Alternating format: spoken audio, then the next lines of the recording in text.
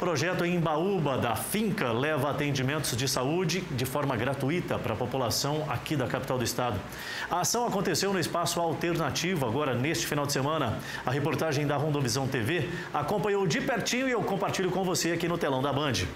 Centro Universitário Aparício Carvalho Finca realiza o projeto Embaúba, uma realização que reforça o compromisso com a saúde e o bem-estar da comunidade. A ideia do nosso projeto é um projeto de extensão para levar todo tipo de formação diversa à nossa população da cidade de Porto Velho.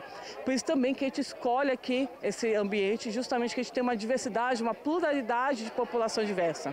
Então aqui a gente está trazendo informação que vai desde questões de saúde, saúde ambiental, falando pouco da nossa biodiversidade, trabalhando com as crianças e também falando um pouco dos impactos ambientais e como eles repercutem na nossa, na nossa saúde. No evento que aconteceu no Espaço Alternativo de Porto Velho, estudantes e professores dos cursos de agronomia, zootecnia, biomedicina, farmácia, fisioterapia, nutrição, psicologia e medicina veterinária ofereceram uma série de atividades gratuitas para a população. A finca traz o curso de zootecnia, que é uma área onde você consegue produzir a produção de alimentos para os animais. E a gente trouxe aqui animais silvestres, porque muita gente não sabe, mas quem fornece a alimentação, a dieta balanceada dos animais silvestres no zoológico ou centros de reabilitação de animais é o zootecnista, que vai fazer o balanceamento da dieta exatamente para cada tipo de animal.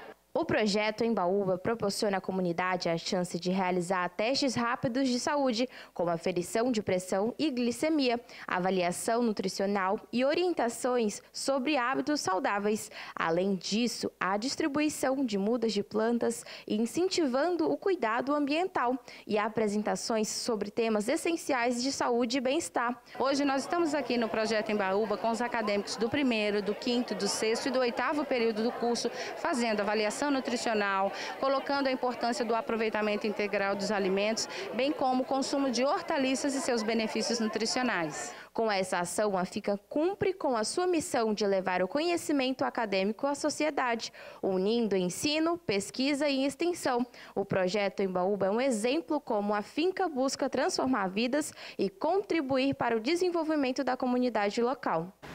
É, são dois pontos para serem avaliados assim com muita riqueza de detalhes. Né? Primeiro, o que a gente está falando sobre o processo de formação de uma instituição de ensino, que coloca o acadêmico ali, ó, em campo, justamente para ter o, o, o, discernimento de como que é a prática da atividade que o qual ele está estudando, pretende se tornar um profissional. Segundo também, a sociedade que é assistida de vários âmbitos, né, de, por vários aspectos. Então, parabéns ao Grupo Aparício Carvalho, ao Centro Universitário Finca, também à Faculdade Metropolitana. Ganha a sociedade, ganha a formação destes profissionais que muito em breve estarão no mercado de trabalho.